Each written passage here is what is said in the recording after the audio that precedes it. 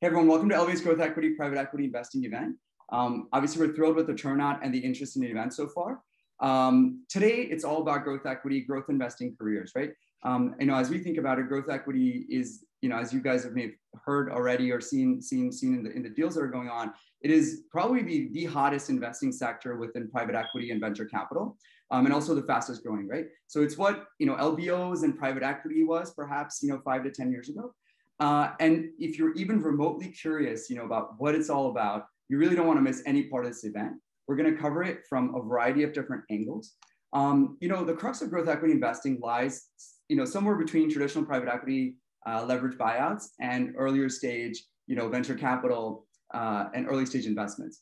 Um, and it involves investing in high growth companies at slightly more mature stages of capital or their life cycle than perhaps venture capital.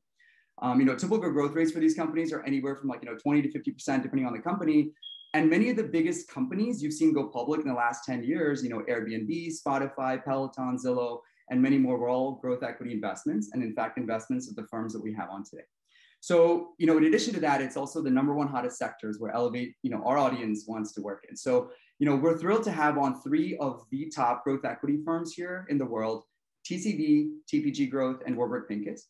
Um, we're extremely excited to have them on for our Elevate audience here. Um, one, to learn about growth equity from our professionals. Number two, about what makes each of their firms differentiated and special to them to work at. And number three, all about careers and recruiting, which you know the majority of our audience here is uh, interested in. Quick background, Elevate is the largest finance and investing platform for early professionals and students in North America. We established about a year ago, and we're now partnered with the top 35 universities, the top 10 MBAs, and all the top firms in the world um, with recruiting, networking, and trading platforms.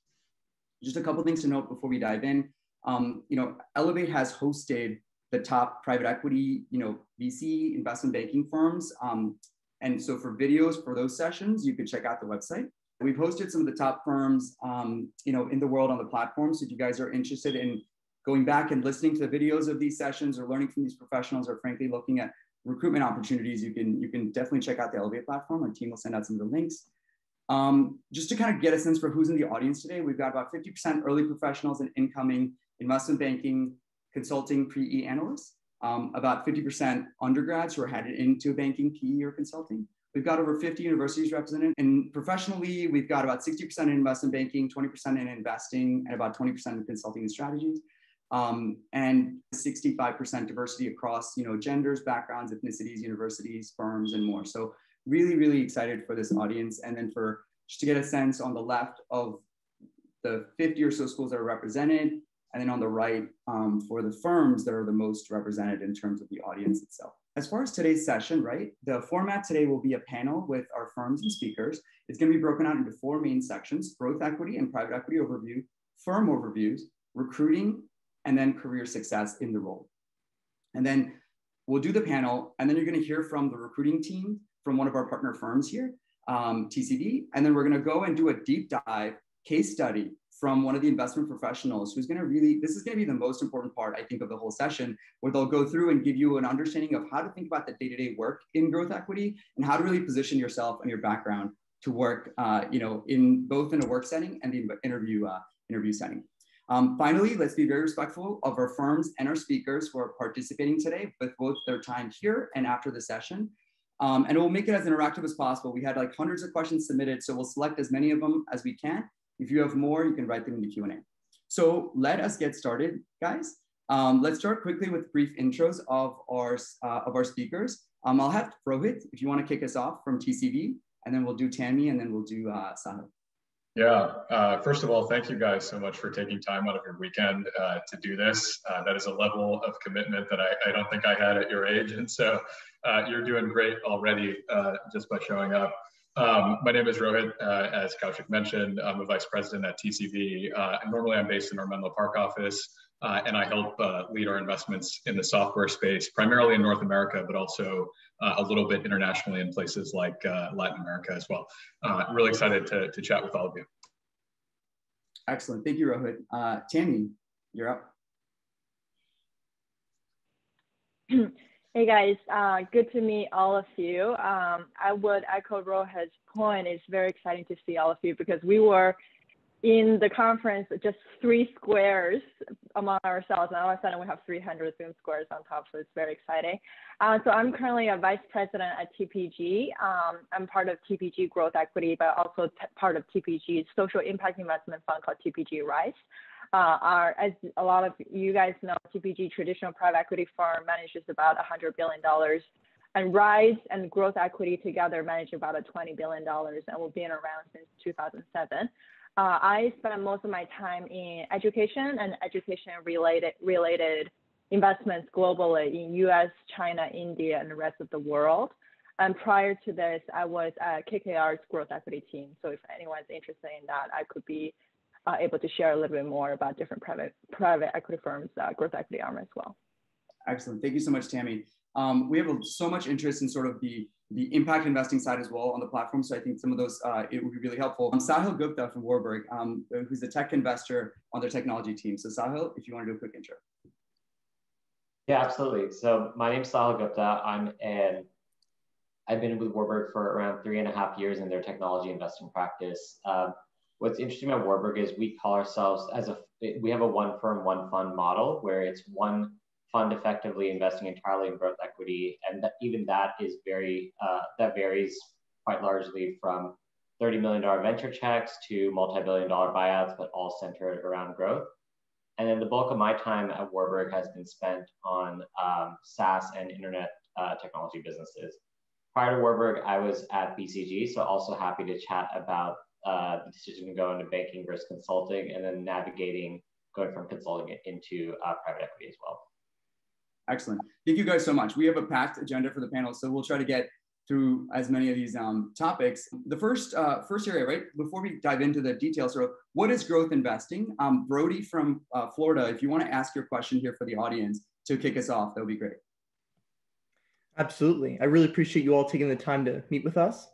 I was really interested in what are the kind of key differences that led you to be interested in investing in early series companies?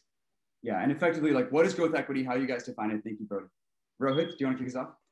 Yeah, uh, ha- happy to. I think, uh, uh, thanks for the question, Brody. Um, as Kaushik mentioned at the beginning, uh, there's sort of a spectrum of companies' life cycles, uh, and that starts with uh, sort of seed stage and venture, and it progresses to being a more mature business, having found product market fit, then progressing to you know what we call go-to-market fit, um, uh, meaning you've got a product people want, and then you've got a way of selling it that actually resonates uh, with the folks you're selling to, uh, whether they're businesses or consumers.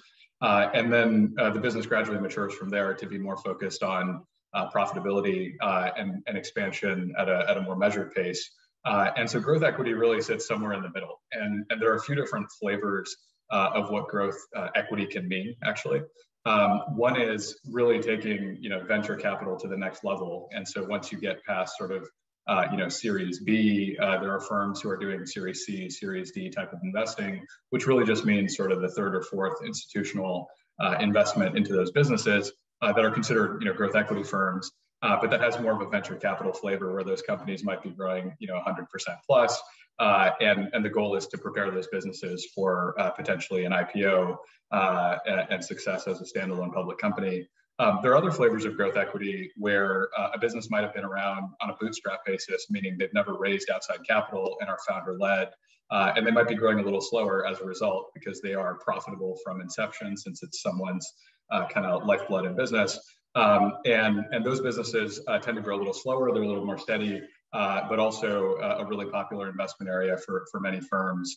Um, and, and then, you know, there's a, there's a final category, which is sort of where TCV plays, which is uh, crossover investing, where across, um, you know, different types of, uh, of growth businesses, whether they're venture backed or not, uh, what we really specialize in and the C and TCV stands for is um, is taking businesses that are at some point of maturity of having found product market fit and go to market fit uh, and helping them uh, figure out their next two to three growth uh, vectors uh, and do that with a crossover from private into public markets. Uh, so helping the businesses get ready to be public, uh, helping them actually IPO, and in our case, actually continuing to be an investor for many years after the IPO.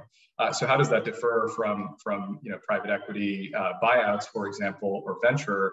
Uh, I guess versus venture, you know, our businesses, as I said, are farther along their curve. They've gotten farther with their product strategy. They've gotten farther uh, with their go-to-market strategy and sales efforts.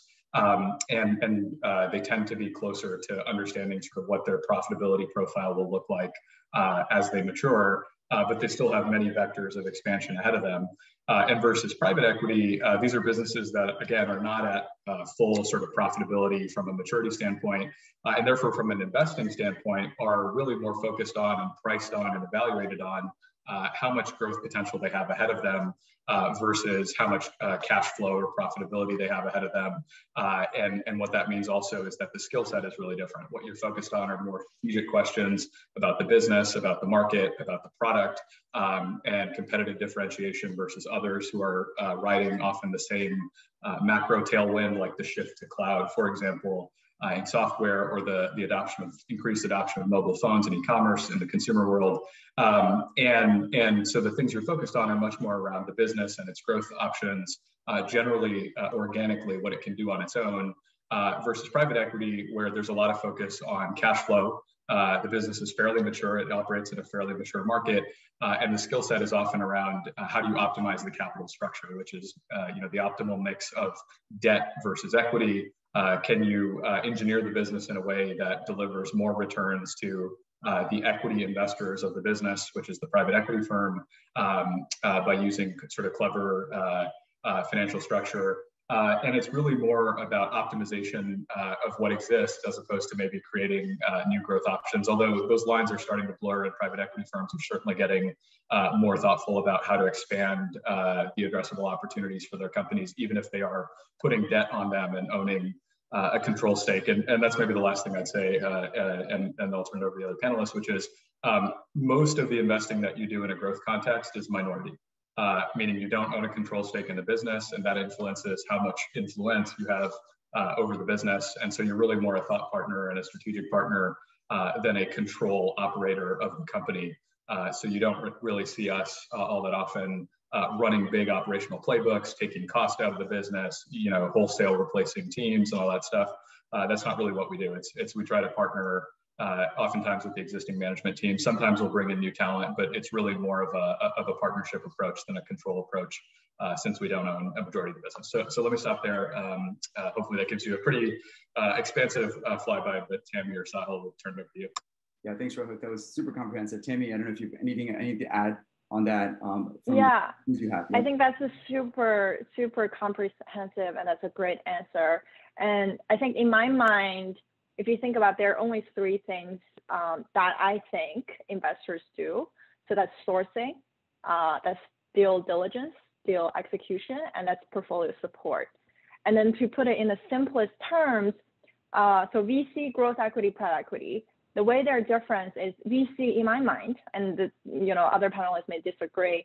VC tend to spend a lot more time on sourcing. So what you're doing is to build a market thesis, go talk to entrepreneurs, figure out you know who's working great in their garage or Silicon Valley somewhere in there. Uh, they do less on diligence because there's just not a lot of data with the early stage companies.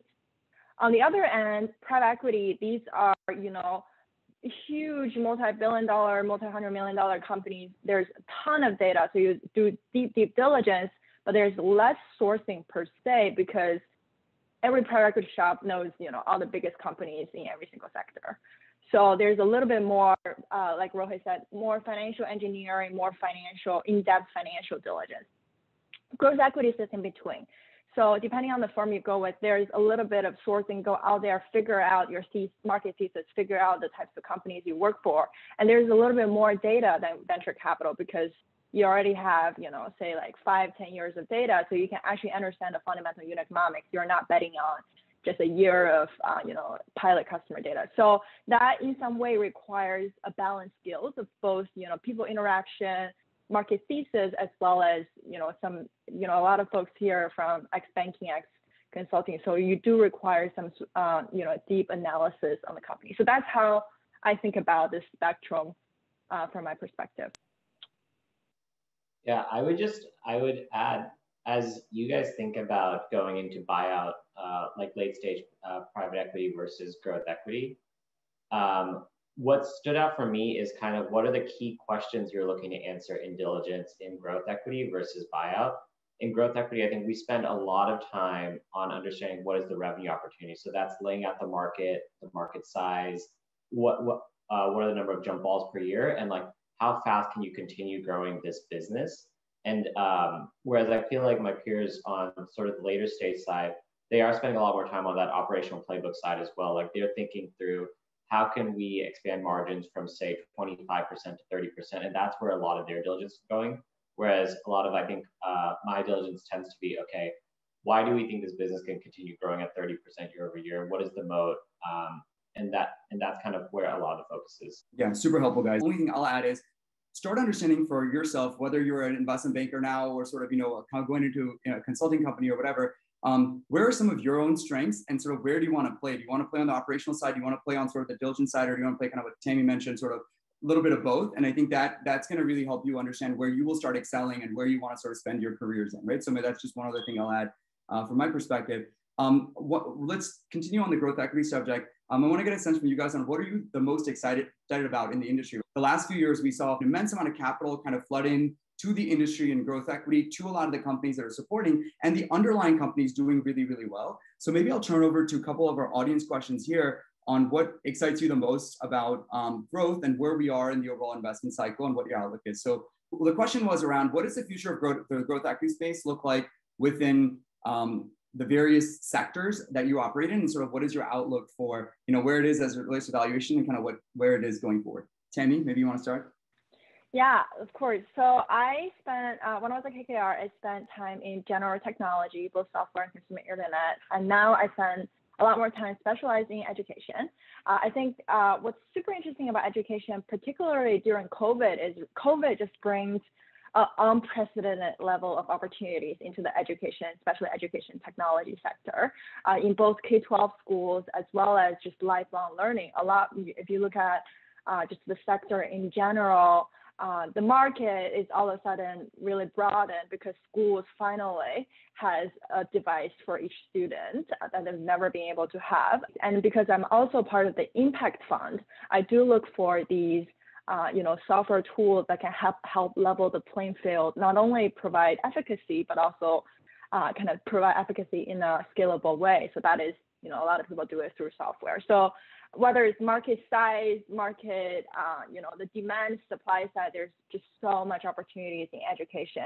And also globally, if you think about uh, China, India, finally, there are great opportunities that again leverage technology to level that playing field, not only serving massive, massive population in Asia, so a lot of money, lots of demand again uh, their ed- education. Uh, I think uh, so. That's all the rosy picture about my sector. Uh, the downside, obviously, Rohit um, and and others could probably feel it's just price is getting very expensive. There's more and more competition in growth equity, and that brings kind of new challenges, even though it's a very excite, exciting macro sector. Awesome, thank you, Tammie. Um, I, I totally agree with you on the kind of the intersection between opportunity, technology, and and price. Rohit, I know you spent a lot of time on the you know internet side of things and technology side of things. What, what's your perspective on you know trends? You know where we are. Um, you know what, what are the exciting things you see? Yeah, uh, well, I, I, agree with and wholeheartedly resonate with everything Tammie said. Um, there's this there's paradox right now where uh, there's never been more capital chasing growth businesses. Uh, and on the other hand, the opportunity has never been bigger. I'm sure some of you have followed what's been happening uh, in the IPO market, for example, where companies are going public at frankly astonishing uh, values. And I think the, the consensus uh, in the investor community in many ways is uh, the quality of these companies, meaning how quickly they're growing, the value they're delivering for their customers, their defensibility over time uh, is, higher than really anything we've ever seen before. And it's almost like uh, entrepreneurs have gotten better at building great technology businesses over the last 10 years as we've really started to understand how different you know strategic analysis and competition looks uh, when you're talking about internet scale economics versus you know geographically constrained economics of building a retail store like all of the strategy books that you guys are studying uh, you know in school and, and and maybe you know exploring in consulting firms uh, written for a world that was constrained by physical distance and, and technologies that look nothing like they do today. Uh, when an entrepreneur can start a business and tomorrow instantly access a global audience. Uh, and so as a result, it, it, really is this paradox where uh, valuations keep getting higher and higher. That's just a supply demand thing where there's so much capital chasing these companies. Um, but the quality of these businesses and their ability to grow for many years uh, and grow very quickly and become big businesses faster than we've ever seen uh, is also higher. Uh, so that's maybe one piece of the question, which is, you know, what are we seeing from a trends perspective? Um, where we are on the cycle, who knows? Uh, it's it's always been a, a, fool's errand to guess. Uh, uh, generally, cycles do happen. Uh, I'm not sure where we are, but it's certainly been a long time since the last one. Uh, and COVID was not at all uh, what we expected, at least for technology growth equity, where in fact it accelerated uh, a lot of adoption of software. It accelerated the use of technology in people's lives with things like telemedicine uh, and the adoption of e-commerce, for example, uh, almost doubling, um, uh, and things like grocery delivery becoming a bigger fixture of people's uh, consumer behaviors. Um, and so all of those things were pulled forward by COVID, I would say. Uh, and, and that gets to the other piece of the question, which is what are the trends we're really excited about? Um, I think we're just scratching the surface on what it means when you can access software from your web browser or from your mobile phone. Uh, I think we're just scratching the surface when it's easier than ever to build those solutions uh, and it's easier than ever to tap a global audience. Um, and there are lots of interesting ways that the basic premise of employment, for example, is changing. Uh, you know, we've been very excited about the creator economy, for example, where individuals have the ability to take their passion now and connect to a global uh, audience immediately um, uh, and build really big and healthy businesses that are way more uh, lucrative and interesting for them as individuals uh, than they would have been, you know, if they were working for a company. And so uh, I think that technology now is really beginning to show that it can rewrite some of the basic assumptions we had about uh, economics, employment, and you know, certainly we're seeing it in politics. Um, and it's just a very exciting time to be uh, trying to find opportunities. So a little bit of everything in that response, but it is a really, really interesting paradox that we're facing. Thanks, Rohit. Uh, agree with both you guys. Um, Sahil, your perspectives on sort of what you are seeing in this space, what sort of excites you uh, with where we are in, in growth equity and where we're headed? Trends that I'm really seeing uh, that are exciting me are one sort of the um, studio and streaming content economy. So that's like video game streaming or localized language content streaming, where there's real economies of scale that as you start getting a wider subscriber base, kind of like the Netflix model, it actually becomes cheaper per subscriber for you to create new content and that sort of becomes your your moat in that business. So i think the content economy is something that's really exciting. Another area that i think is really exciting is fintech. Like as i'm sure a lot of people in this audience know uh, anytime you're setting up a bank account you're getting paperwork to get a new apartment and whatnot it's a really manual uh, frustrating process where you're wondering why isn't this digital? And i think there's a lot of exciting fintechs that are sort of um, innovating a very broken and manual process. So spending time in fintech is something that's really exciting to me as well. And then third, I would say is just thinking international. Um, I think a couple different investors have done really well where they've spotted a great business model in the US or something abroad and then apply that in another geography. This is kind of what, why I love this area of growth equities because you can you know, be a consumer of a product, or you can sort of really understand the product yourself. It's not some bespoke thing that you don't understand, but you're investing in companies and ideas that are really the next frontier of things that were done long ago, right? Like this is how it's been always done. And now I think the model is no, we with technology and all these things, we could change everything and and really transform the industry. And I think that's what's so exciting what these guys are working on day to day, but also kind of what the audience is looking at as far as their careers go, right? So um, super, super cool. Um, we're gonna try to go through a lot of a lot of these questions in a, in a short period of time. Uh, actually, you know what? Let's let's go there next. Let's do a little bit of a firm overview. Um, I think maybe uh, Tim, you already hit on this a little bit. Maybe Rohit, you want to start and give the the folks a little bit of how your firm is structured, and Sahil, you can go, and then Tim, you can add on anything else, so people understand sort of what are sort of some of the different verticals, how you organize, and maybe even how are you differentiated on deals that you bid on, and, and kind of what is that proposition? Maybe Rohit, if you want to start. Sure. Um, so, so TCV, uh, as I mentioned, uh, stands for Technology Crossover Ventures, uh, and so, so again, we are a crossover firm, which means we invest in companies privately uh, and then invest more as they go public and in their journey uh, as, as public businesses. Um, we were founded in 1995 and we manage around 25 billion of capital today. Uh, and all of that is focused on uh, kind of two primary areas. The first is consumer internet, uh, where we've been investors in companies like Netflix, Peloton, Spotify, Zillow, Airbnb, uh, and many others, uh, and then B2B software on a global basis, where we've been part of journeys at Twilio, LinkedIn, uh, and a long tail of other companies. Uh, where we uh, sort of differentiate and, and spend our time, sort of focus on differentiating is probably two things. The first, as I mentioned, is that crossover mandate. So when we partner with a company uh, we tend to be um, their partner for a, a, long period of time through their capital markets journey. Um, uh, we've taken almost 70 companies public, uh, and more than 90% of the time, uh, we invest more at the IPO. Uh, and then the second piece, which is related to that, is we tend to have a very long term orientation. So uh, we invested in the Series B of Netflix in 1999. We're still investors, still on the board. We invested very early on in Zillow's journey in 2005. We're still invested, still on the board. Uh, we invested in Facebook and held for almost 10 years. Uh, we invested in uh, Spotify, uh, frankly, just as they were entering the United States. We're still invested, still on the board. Uh, and so that's how we think about it is if you're looking for very growth-minded partners with a long-term orientation uh, that are focused on helping you compound your business at really high rates over a long period of time and building global kind of category champions, um, that's what we love to do. And that's where we love to get involved.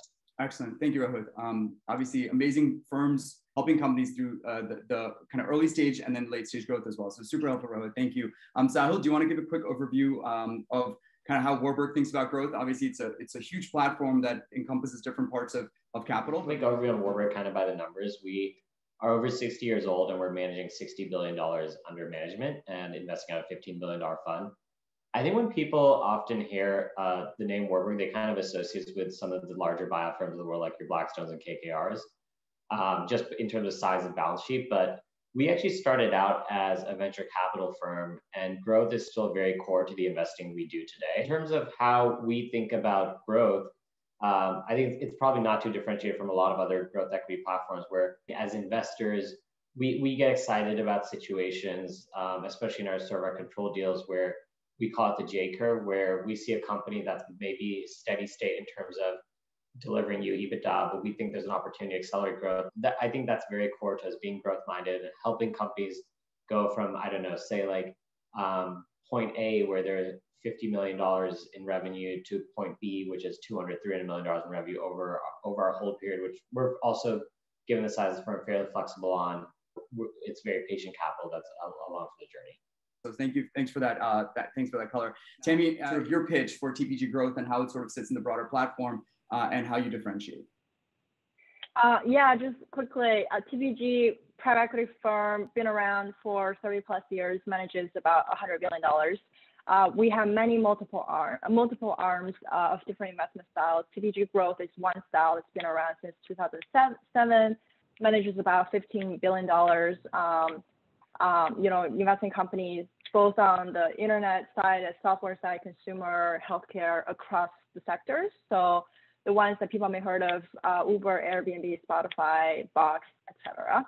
Uh, I'm also part of the fund that is called TPG Rise, which is super exciting. Uh, it's the largest and the oldest institutionalized social impact investment fund. We're at about $6 billion AUM now. We started about five years ago. So what that means is we look at companies that not only have great commercial success, but also meet certain impact hurdles. Um, so in, within this Rise Fund, you know, we, we invest in companies in education sector, financial services sector, um, agriculture and food. It's really exciting across the globe. Uh, we also are targeting, this is public information, targeting a new climate fund. So this is a super exciting space. So if folks are thinking, if you like growth equity, but you also like, you know, the social impact side of the deals, I think this will be a great platform for you to consider. Excellent. Thank you, Tammie. One more area on this before we jump to sort of the recruiting and career side.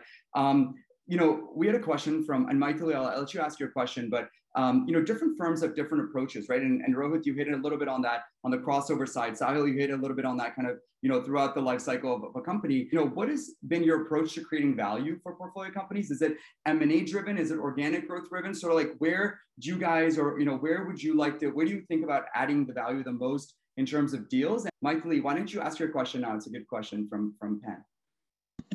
Yeah, sure. Hi guys. Um, thank you for being with us like this morning. Um, so my question was just about like what are some of the, the favorite qualities you've seen in management teams of like um, any portfolio companies you've worked with? Excellent. So like all encompassing question about you know deals you worked on that are interesting and also sort of what you look for in, in some teams that you've that you've um, that you've invested in. Um, just quickly on operational levers, I think this, this is no surprise for uh, the, consult, the consultants on the call. So we look for both organic and M&A growth. In organic, you think about revenue, right? What drives revenue? So it's new products, it's adding new sales rep. Usually that has a almost linear relationship to your revenue growth. Uh, it is to you know drive upsell, cross sell, uh, drive price increase, etc. And then uh, on the M&A side, we look for M&A for new products, new regions, uh, you, within U.S., internationally. So those are things we all consider. Uh, we do look at a lot of deals. We do look at what we call low-hanging fruits. So if the company has historically been undermanaged, for example, in their, uh, you know, we have a company that has been spending all of their marketing on billboards. I mean, this is 20, 2021, right? So we should definitely can help them invest marketing in a more effective way on digital marketing, you know, to be more targeted, drive their conversion, et cetera. Uh, so go-to-market is another one. Um, so that's one. Just, just, just long story short, there's a long list of things our ops team will look at to drive growth in companies in terms of what has a management team, it really depends. Uh, we invest in kind of typical Silicon Valley uh, founder founded, founded a company out of their storm type of investors, uh, you know, founders. We also invest in, uh, you know, CEOs who have came from other private equity backed uh, opportunities, who have done M&A before, who has a track record. So it really depends on the situation. Excellent. Thanks, Amy. Um, uh, Sahil, from your end? I think on sort of the the value add that we're adding outside of just capital, I, I actually think it's a lot of a lot of repeat of what Tammie's saying, where when we invest in a business, we're, we're really looking to partner with the management team, be it whether we're majority or minority, but we're going to board meetings and trying to be very collaborative. And we offer a lot of resources that are kind of free of use and on management's discretion if they want to use them uh, in, in the form of like consultants who have had a lot of operating experience before. So this can be like someone who is a pricing expert, someone who's a go-to-market expert. Uh, we'll often take a lot of the M&A responsibilities on ourselves. Uh, we'll have people who have a lot of new product experience go in. So uh, why that's important to a founder is just having a sounding board of people uh, they can work with. I think that's something they really appreciate. Um, in terms of favorite qualities of management teams, uh, I think I underappreciated just how much reference checking is done when we are investing in a business. This isn't just like your standard background check. This is like talking to people who have worked with that management team. Uh, because at the end of the day, you are signing up for a five, seven year marriage with this management team. So you want it, you want it to be someone you can gel with and get along with and trust. Um, and I think that this is not just when you are uh, investing in the business, but also I think just sitting in boardroom meetings. I realized a lot of uh, senior leadership at companies, a lot of their role is just building out a team, uh, thinking through like, hey, I needed a good CPO. This is what this person's strong in. This is where we could supplement them in. But um, and a lot of how we come to those decisions is through a mix of like reference checking and whatnot. Um, so I think that that's something that I realized when we look for when we what we look for in management teams is just do they have a great track record of people who love working with them. That's super important. I mean, it's ultimately a people business, a talent business, right? In any way that you're investing in and helping people succeed, um, whether it's capital or connection. So, so thanks, Al, for that. Um, and Rohit, from your end on sort of the differentiators, um, operating levers. Or- yeah, absolutely. Um, I, on the operational lever side, um, I guess we certainly, not to echo uh, uh, Tammie and Sahil, but we would sort of emphasize all the same things around go-to-market, uh, pricing and packaging, you know, you're delivering a valuable service to your customers. Are there ways for you to align uh, your value creation to, to theirs uh, a little bit more effectively? Uh, but the biggest thing I would say is, you know, we are a 26 year old firm that's really steeped in Silicon Valley. Uh, and as a result, the network of the firm is, is pretty uh, strong around people who have seen very parallel situations to what you're working on. It's because we've got this pattern recognition uh, from investing in so many, uh, you know, uh, fortunately great uh, software and internet businesses over time. Uh, we're able to kind of find like that killer executive um, from a talent perspective, uh, and maybe that's the bridge to to what we look for in talent, which is kind of two things. Um, and the first is because of what we're trying to do, which is build really big category creating or category defining businesses over time, sort of the Netflixes and Pelotons of the world. Um, we absolutely love CEOs who are huge visionaries uh, and clearly, you know, have this ability to see around corners uh, for where their market is headed and where consumer behavior is headed. Um, and, and, so that's the first thing is just vision and sort of frankly ambition um, and, and sort of the intensity that accompanies that. And then the second is what Sahil mentioned, which is uh, what we describe as talent gravity, which is are they able to attract uh, absolute killers to go do exactly what they need to go do. And oftentimes a great leading indicator for that is did they bring people from past ventures to join them? You know, is this the type of person uh, who uh, past employees would say, if they ever started something, I would join them in a heartbeat. Uh, and so a lot of that kind of talent gravity uh, is really important to us as well. Excellent. Thank you guys. Super, super. Uh, I think I think nothing else to add from my end. I think you guys described really well. Let's get to the the next piece, which is recruiting, which I think a lot of our audience is obviously going to be interested in uh, into these types of careers. We've had a lot of questions come in. Like I mentioned, you guys want to put more questions in, you can either message our team, me, or in, in the chat group. But let's just break down this into like different pro, you know, parts of the process itself. And I'd love to get you guys' thoughts on, on the whole process. First of all, at a high level, sort of what types of candidates, right, at the associate level, which the majority of the folks are professionals might be go, going in associate. So let's think about early, you know, early career, you know, internships or analyst associate level. Sort of what are the types of candidates um, that are successful at your firm? Yeah, happy to start. Um, so I mean, I'm sure a lot of you guys know how kind of the on-site review process works. It's very fast and whatnot. Um, at Warburg, I think our interview process is pretty similar to what it would be at a lot of other private equity firms, where it's a modeling test, um, and then you have a few in-person interviews where it's a mix of behavioral and technical questions. And I'm not sure there's that many firms that are that are super unique in their interview process. Uh, and then, you know, at a firm like Warburg, where uh, you're, uh, especially in the tech group, where it's very growth equity focused, I would say the your role is kind of uh, like Tammie mentioned. You're doing sourcing, you're doing deal execution, you're doing portfolio management. Um, I think at a place like Warburg, where a lot of people have sort of buy, buyout backgrounds, having that deal execution, that technical analytical skill set is just table stakes. Like I, I just feel like finance is a place where if you mess up a number or aren't able to deliver deliver on the analysis, that's something people take very seriously um, and that scares them away because that's sort of a skill that they want you to have, and that's a responsibility they kind of want to outsource to you.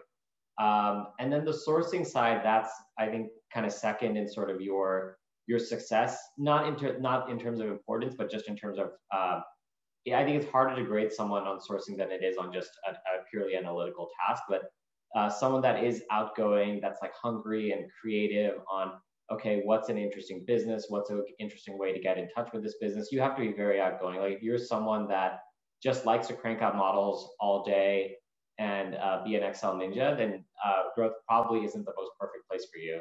Uh, but if you're someone that likes going, that is a little bit extrovert and likes going out to meet with management teams and think through like, why is this business interesting? Why is this not interesting? I think that's where you'll really enjoy growth. So those are the two things um, I would say. The third is actually, I think, being being really friendly with portfolio management teams and being able to build a good relationship. Like I said, our hold periods tend to be oftentimes longer than five years. Uh, so it's a very long hold period. And then also when, like Rohit said, you're looking for people that are killers and can attract killers. Once you find that sort of individual, you want to work with them day in and day out, um, even on future deals. So being able to establish a strong rapport with management teams, I think, and build your credibility is super important as well. Awesome. Thank you. Uh, before we let others, uh, do you want to do a quick intro and your, ask your question for the panel, and then we'll, we'll, we'll continue on the recruiting topic. Sure. Um, so just want to thank you guys for taking some time to uh, talk to us here today. I just graduated from the University of Pennsylvania, and we and we'll be working at Goldman um, and starting in two weeks, so coming up pretty fast. But um, so so so along other lines of just I'm um, recruiting and you know all the all the skill sets that are necessary to do well in the process. I was pretty curious actually to see for you guys what worked well when transitioning from you know the banking and consulting role over to the investing role and what skill sets um, helped you particularly when transitioning both in, in, the recruiting process and also on on the job and uh, thank you Tammie do you want to take that one and then we'll go to Rohit. Yeah i think um, i agree with sahil's point so it's fairly standard uh, interview process, behavior interview, leadership, and then um, technical interviews. I think there are three things that if you're interested in growth that you absolutely have to do. One is, as Sahil mentioned, you have to, um, you know, be 100% strong on your technicals, on the ability to build a model.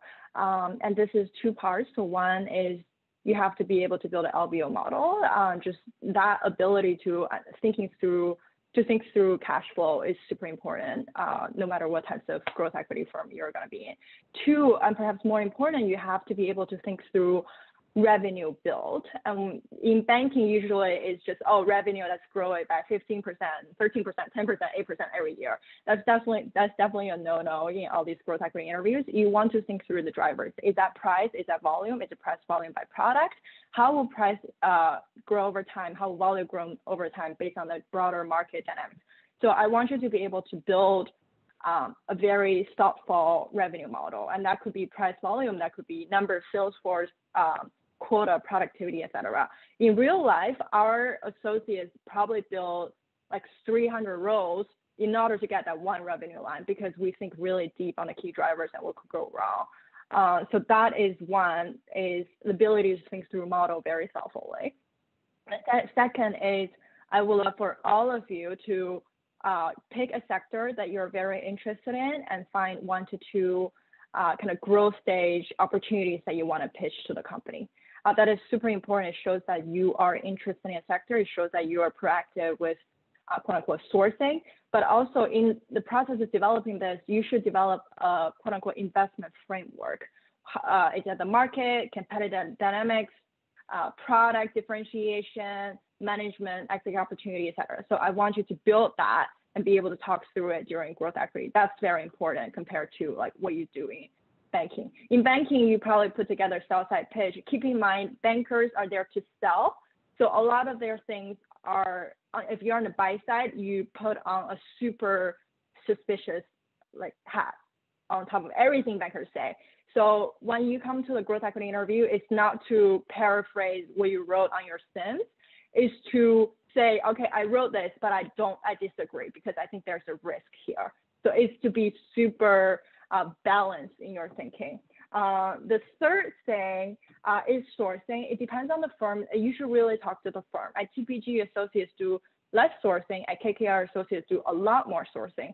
So you should, it's not the firm. KKR, TPG are both private equity firms, but it's the team's DNA are very different. So really talk to the folks and think about how much uh, sourcing versus technicals you need in each role and then kind of cater your answers a little bit differently based on what the firm is trying to look for.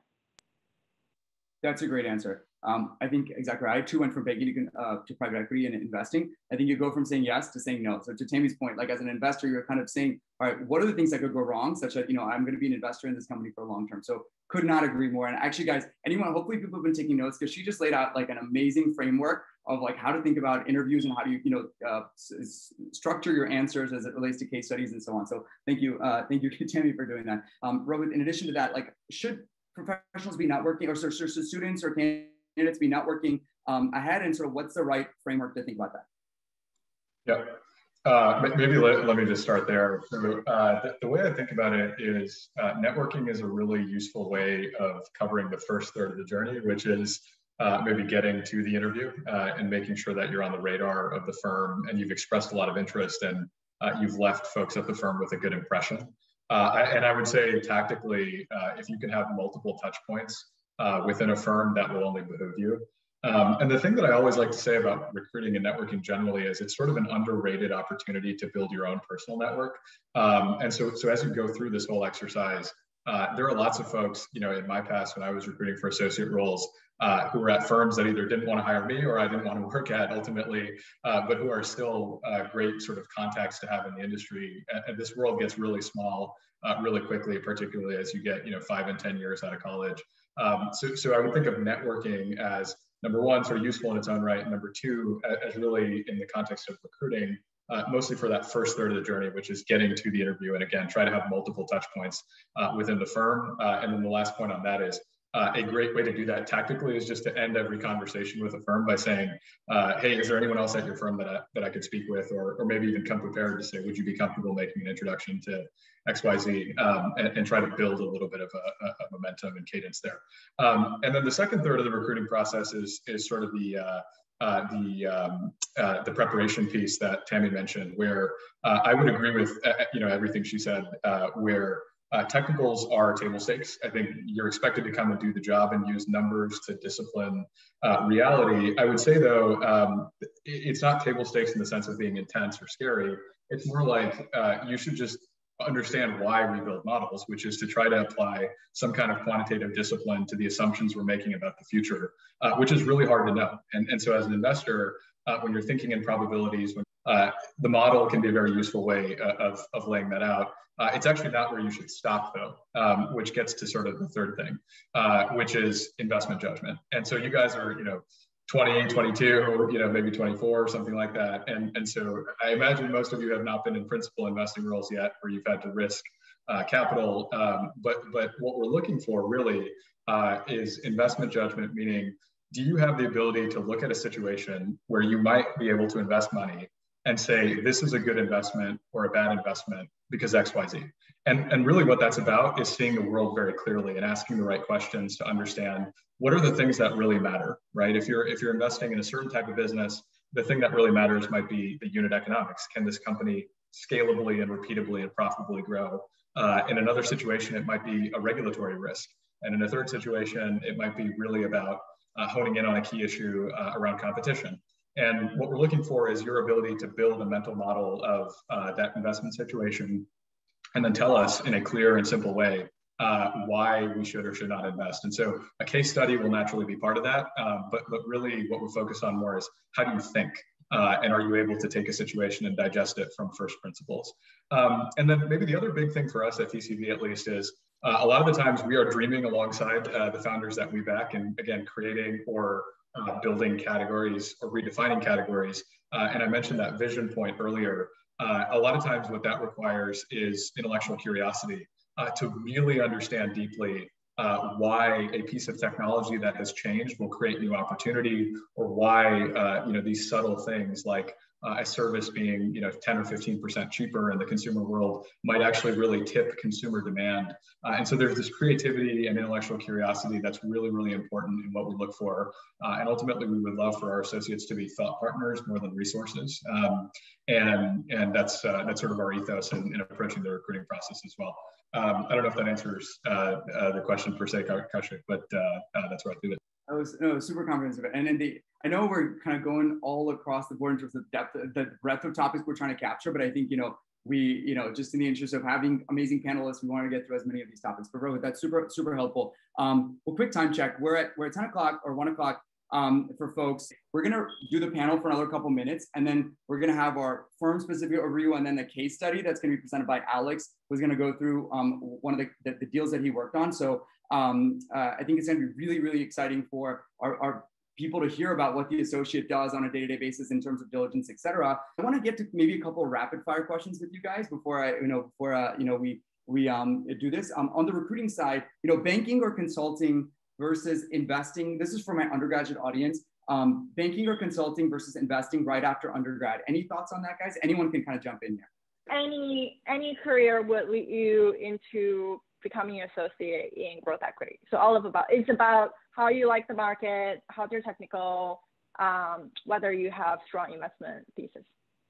Understood. And I think we've noticed this a lot more where our audience, where you know, there's maybe a larger portion of the people that are going into you know PE or growth or VC like right out of undergrad, even before doing their banking and consulting stint. And so that's something that we're seeing. But yeah, um, Sahil, you came from a consulting background, so that gave you a little bit of a different perspective. You can comment on that, maybe really.